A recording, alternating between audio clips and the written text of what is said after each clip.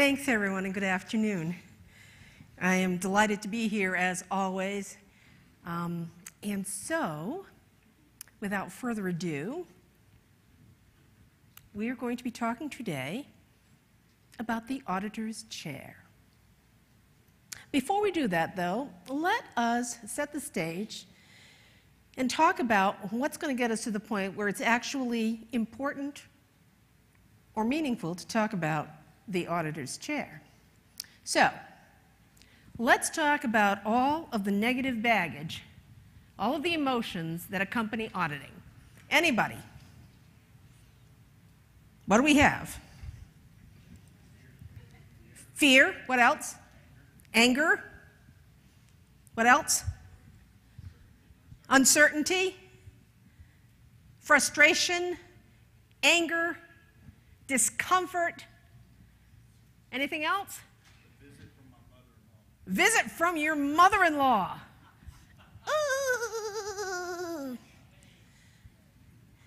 Being in pain, indignation. What is this person doing in my space? All of these are very real and very potent emotions. And I've spoken about this before, and I've talked about some of the issues that we have with auditing. It doesn't go away, it's a reality, and it is important, therefore, to dispel some of these negative emotions and a lot of this ugly, ugly baggage that stands between you and your goal. And so, what is your goal? What is the purpose of doing the audit? Anybody? Improvement. What else? Oh, come on, louder, louder, come on. Review effectiveness. Okay, we've got several different things. We, we want for this audit to, to be productive. We need for the audit program to be effective. We need for it to produce results. So I ask you, what's the most significant or the most obvious part of the audit? Well, it's the audit interview. So it stands to reason that if you're going to have an effective audit process and if you're going to be able to achieve the results that you desire, that it's important to have an effective audit interview. So, what stands between you and having an effective audit interview? Well, there are a lot of obstacles. There's a lot of baggage that we've talked about. But I want to focus on one thing. We're going to take all this stuff and we're just going to focus on the auditor's chair. Why is it a big deal for the auditor to be able to sit down? This is not about being stoic. I know people who think that they should be able to walk around all day. Now, you're looking at a situation where many of the facilities that we're walking around, concrete floors, you're walking around all day long, three, four hours, your feet hurt, your back aches, your knees are starting to get kind of wobbly. All of these are distractions. What's the problem with distractions? They stand between you and your ability to be present, to be fully present to this person with whom you are speaking. Now, what does it mean to be fully present to the person that you're speaking with? It means that you ask very deliberate and perceptive questions you frame those questions so that they are intelligible to the person who needs to respond. It means that you are sensitive to all the nuances of the conversation.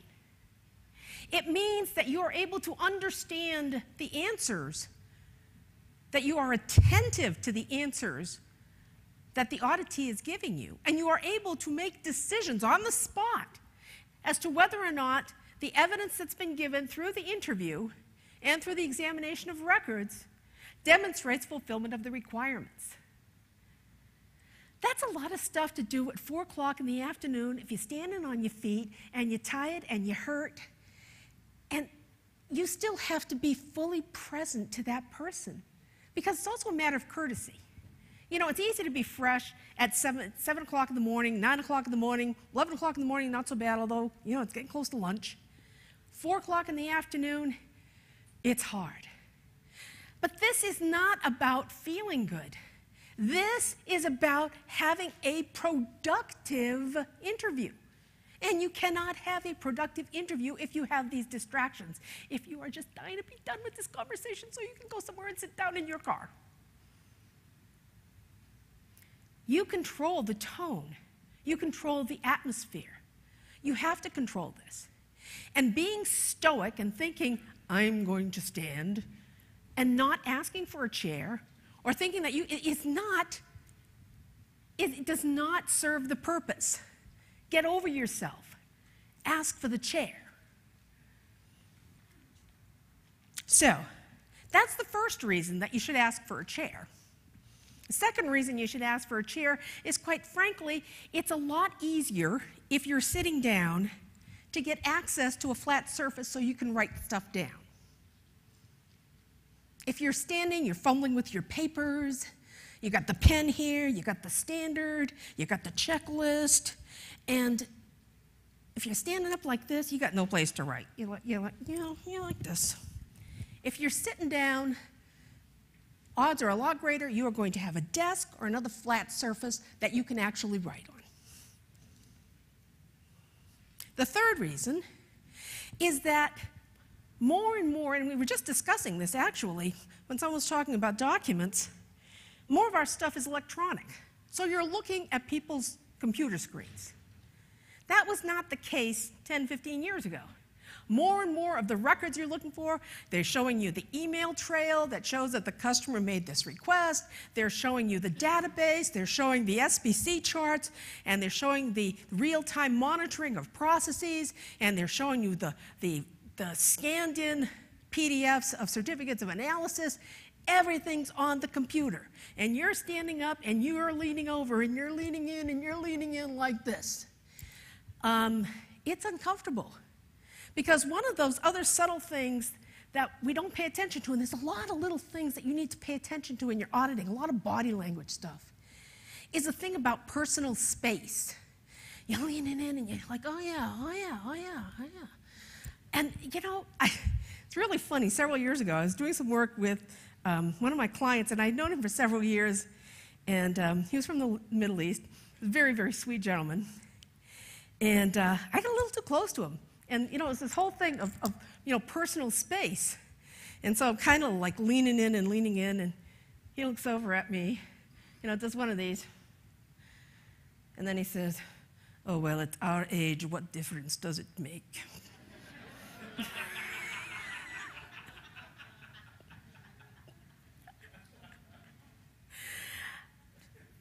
Doesn't need a personal space. So this whole thing of that awkwardness, you know, trying to see, whereas if you're sitting down, they just tilt the screen so you can both see and you can look at the same time. So, you know, so, so, so, so far we've got three things.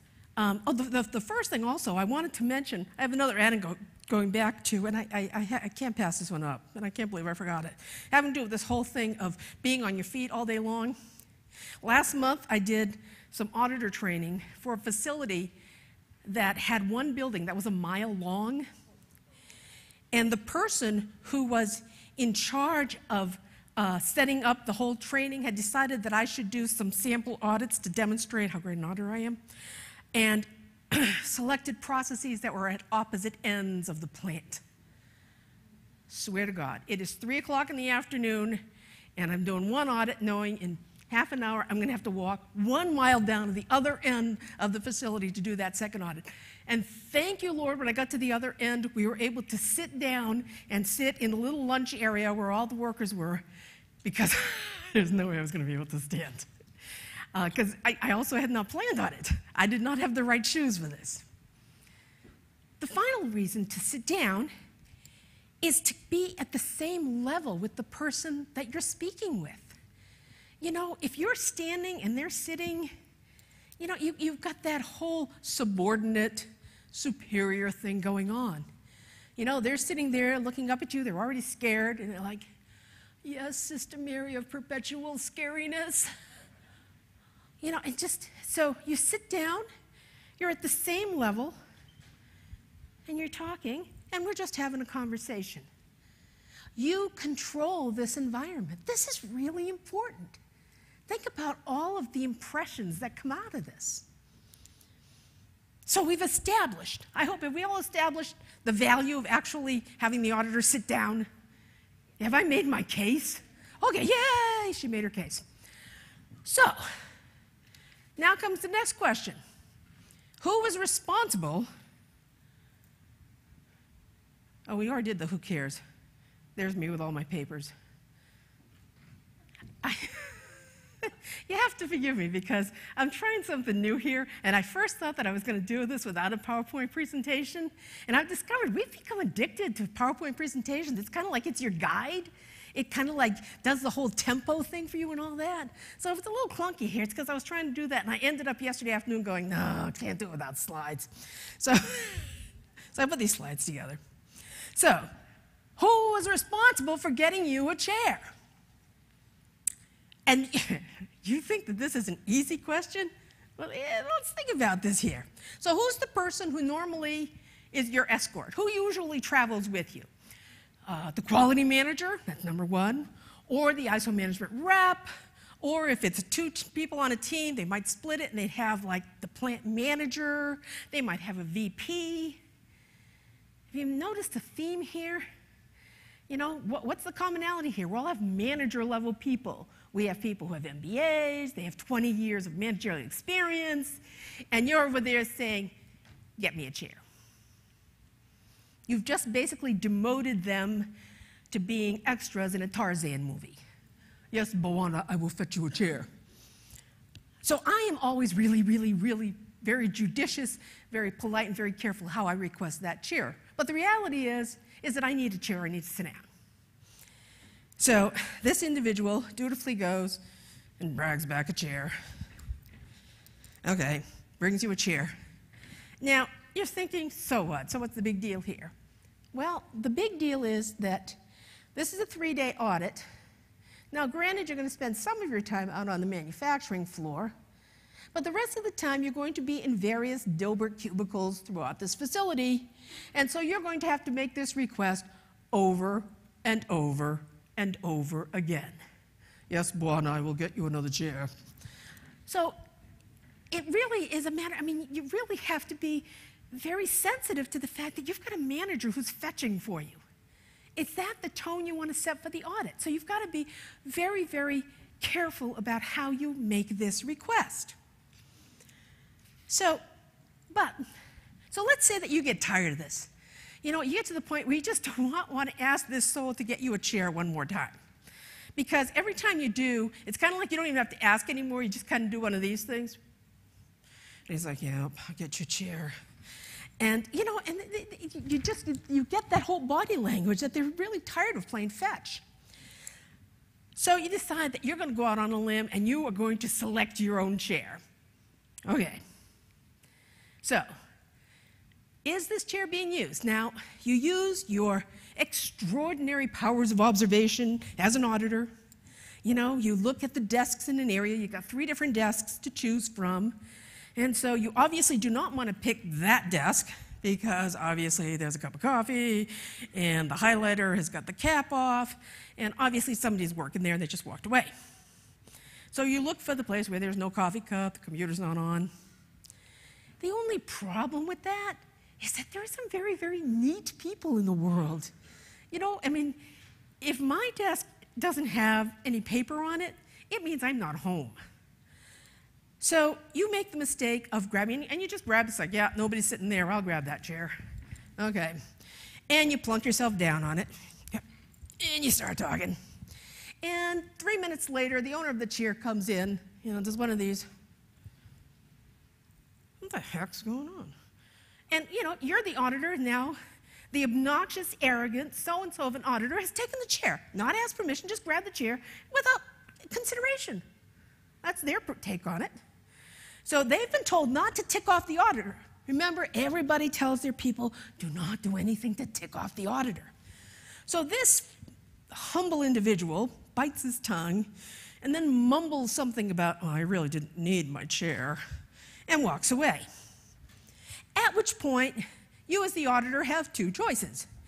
You can either do the, the big giant apology, prolifically apologizing, oh, I'm so sorry I took your chair, and give it back to them. Here, you can have your chair, which puts you back in hovering mode, and you either get another chair or you're back in hovering mode. And you certainly do not want to look over at the quality manager because you have to now admit that you grabbed the chair without asking him to get you one, and the whole awkwardness is there. So, so, but your other choice is to remain seated in the chair, thinking, I'm only going to be here for about 10 more minutes, and if he really needs a chair, all he has to do is say he needs a chair. Which leaves that individual with the impression that you are indeed a blankety blank so and so. Okay, so that's another piece of awkwardness here lot of stickiness here. You know, remember, you're a foreigner in this land. You are a guest in this facility. Okay, so let's say that you do grab a chair and it's not one that's, that belongs to somebody. In all instances, if you have the choice, you must always go for the chair with wheels because office furniture is a lot heavier than it looks. And if you grab one that does not have wheels on it, now again, you've only got one hand because you got your papers and you got your pen and you got your standard and you're tired and you're dragging this thing and this thing weighs about 10 tons more than you thought it was and you do not make a very pretty sight. And they're looking at how awkward and stupid and obnoxious and ridiculous you look dragging this chair so that you can sit down. And, you know, auditors do not want to look stupid and awkward, but we do. Okay, so once you get to where you're going, so you've, you've selected one with wheels, and I have got to laugh because the gentleman in the back of the room, the AV folks who help us out with all of this, I believe it was Tim said to me, he says, You know, you can adjust anything you want on this chair. I ain't touching nothing on this chair. Because I got to tell you, Murphy's Law is in high gear. You touch anything on this thing, you try to adjust the back, the lumbar, the height. Guaranteed, you are going to flip yourself backward or you are going to plunge yourself down to preschool levels and look like a fool. Ooh, one more time. Do not touch anything on the chair. If you don't like where it is, just live with it. You at least have something to sit on. So, if you're in a chair, one of the really cool things about having a chair that you're wheeling around on is that if you have a small area and you're interviewing two or three people, I did this once with uh, a purchasing function and it worked out really great. It was like process approach on wheels. It was like, so show me the audit reports. So that's the supplier audit reports. And you got the purchase orders? Uh huh, uh huh. And you're doing the monitoring over there? Yeah, yeah, yeah. And let me see that other one that you had over there? Yeah, yeah. It worked out great but you don't want to wheel too far. Going down the corridor is a no no. Little space, not but no bigger than this. I actually had a client, I'd been going there for several years, so I really want to believe that he was kidding, who offered to wheel me down the corridor. I declined. So, all right. So, We've gone through the whole thing of all of the things that could go wrong with the chair, and you know, all the really cool things that you can do with that. So now we're finished, and the next question is oh, we've done that one. See, I'm really messed up on the slides here. Whose responsibility is it to put the chair back? Remember, if you borrow a chair, the farther away you are, there's an exponential mathematical thing that somebody's going to figure out that the farther away you are from where you got the chair, the less likelihood you are you're going to get it back to the right place. And so it's like, where did we get this chair from? And it's five o'clock in the afternoon. The escort is as tight as you are, and the two of you like, where the hell did we get this chair from? I have no idea. Has, no more idea than you know where the heck the chair came from. So try not to get a chair from too far away from its source. However, if you know your, your quality manager, the escort is with you, if he decides to go halfway across the office compound in order to get a chair, then you know I didn't ask him to do that. But he's trying to be nice to the auditor. So, who cares? This is my auditor chair. I thought it was a cool thing. Is it important? Everything you do as an auditor is important. Your body language, the way you treat people, the way you talk to people. Everybody in that office, everybody in that plant is going to remember that you were there. Because the auditors only come twice a year and it's usually an event. Where, you know, we could talk about how it's supposed to be a regular thing, this is about improvement, da, da, da, da, da, da, all that, but the reality for these folks is that your being there is an event. And they're going to remember. They're going to remember how you were in their space. They're going to remember how you made them feel. They're going to remember if you really invaded their body, their, their body space, their physical, personal space. They're going to remember if you were an interloper and came in and grabbed their stuff. They're going to remember how you treated the quality manager if you made him look like he was just some slave that was doing fetch for you. They're going to remember how you talk to people. They're going to remember your body language. They're going to remember whether or not they came in and saw you doing something, and the rest of their attitude is going to be, yeah, that so and so came in, should have seen the way she was around the office. We can do with that kind of attitude. They're going to remember all that. And you know what else they're going to remember? They're going to remember that not only for you, they're not going to just say, Denise was an obnoxious so and so when she came in. This reflects on all auditors. Anytime auditors do things that are embarrassing, that are stupid, that are obnoxious, that give off the sense of being cavalier, disrespectful, it reflects on all of us. It makes us all look bad. I take enormous pride in my, in my work as an auditor. I have a lot of fun with it. But I do take great pride in it. And I, I'm very embarrassed when people will say to me, well, you know, this other guy was in here and you should have seen it. It's like, you know, I, I, you don't want to hear it. It's difficult to comment on it because of the code of ethic. So don't be the person who behaves in a manner that would cause people to have this attitude, this, this remembrance of all auditors. It's late in the day, and I had decided that I was not going to go the whole 45 minutes because it's late in the day, and it, I just wanted to have something that was light and that was fun, but that actually talked about something that is very, very important, and that's the way we treat one another, the way we treat our clients, and the impression that we leave of our profession. So, with that, I want to say thank you. And I want to ask if anybody has any war stories or anything else that they would like to share to add to, to what I've already said. The floor is open to my colleagues.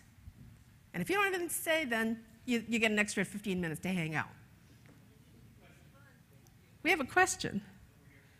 Uh, uh, you would not believe this is like I have like one, two, I, there's like six giant lights up here, so excuse me. I believe. Yep. So thank you for your presentation. You are very welcome. You touched on the end, kind of soft things we do how we affect that. How would you really dress in that matter? Because you're somewhat accountable to the person who's chaperoning you through, but sometimes you're coming in contact with folks that dress a little differently. So how do you strike that balance or any suggestions around that? I think dressing professionally is extremely important. Um, I just said to someone, um, I've got a client right now in a foundry, and they said, you know, it's a really dirty environment. Don't wear your good clothes. And I'm like, yes, I can wear, you know. So, you know, you so there's an appropriateness to the environment that you're in. But, you know, I talked a few minutes ago about leaning in. I mean, ladies, come on. If you got giant bazoomas, doing this is really not fair.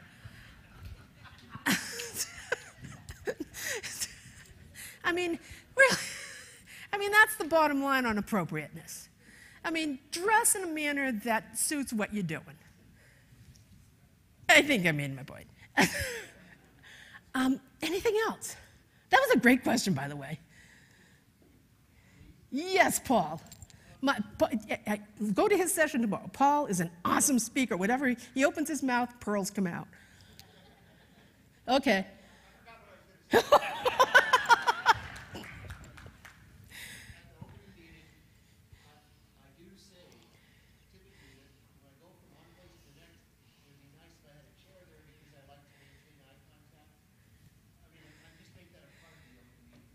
perfect. I love it. I hadn't even thought of doing that. Thank you. Look, did I not tell you? Pearls. It, that, I had not thought to say. I mean, we talk about personal protection year and you know all these other stuff. And when am I? You, and make sure you order my lunch. Um, but make sure that there's chairs. Yeah.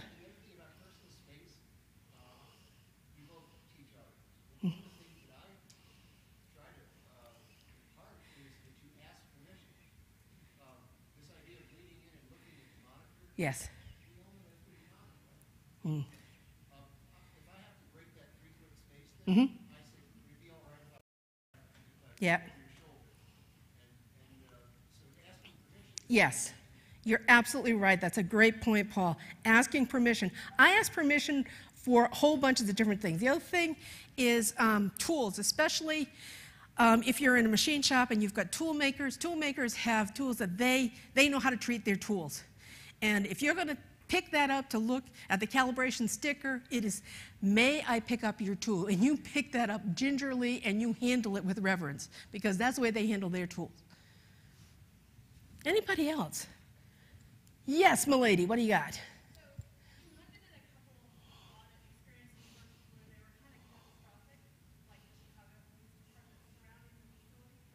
Was that part of the audit?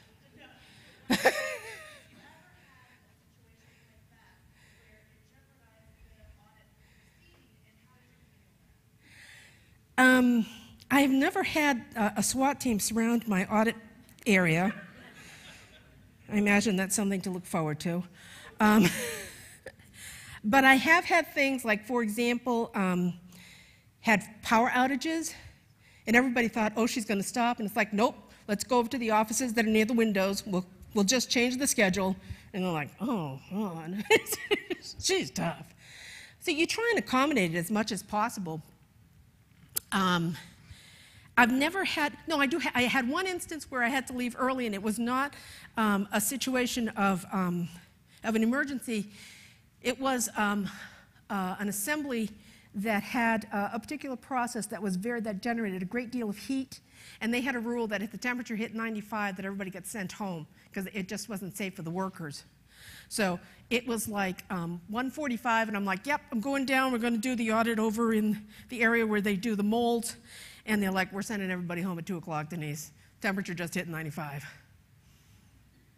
I went, okay. So they gave everybody a Fudgsicle as they were going out the door, and they had some left over, so I got one. Uh, but, I mean, you try to handle the situation. Usually, some, you, you can find another way to accommodate it. If you can't, then the audit stops. But again, haven't had the SWAT team yet.